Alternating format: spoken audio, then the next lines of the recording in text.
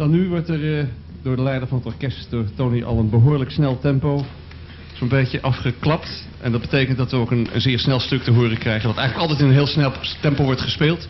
Maar dat kan de solist van vanavond best aan, want toen ik vanavond tijdens de repetitie langs de serre van Vollebrecht wandelde, toen hoorde ik reeds een fantastische solo. Als hij net zo goed is als straks Eve, dan markeert er weinig aan. Eve Albers, gitaar in het stuk van Ricky Noble, Cherokee.